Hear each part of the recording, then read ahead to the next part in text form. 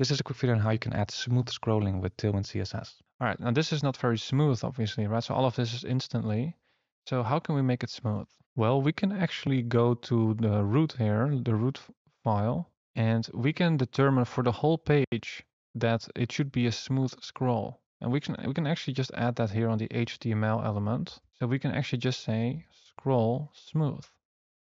Now there is some uh, default behavior from Tailwind, and there could be other issues with this as well. It, it may conflict with other uh, settings. So here I'm gonna add an exclamation mark, which will make this an which will add the important rule in CSS. So um, this with this one will al always be applied essentially.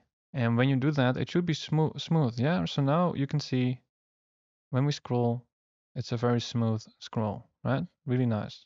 By the way, if this was helpful, I'd really appreciate it if you could like and subscribe. Also, check out my courses on CSS and JavaScript if you want to take those skills to an advanced level. Because in there, we will build some beautiful real world projects from scratch so you can see how everything fits together and really master CSS or JavaScript. And I will also release other courses soon like React and Node.js. So if you want to be notified, then make sure you are subscribed to the email newsletter. You can find the link in the description. Thanks for watching and I hope to see you soon.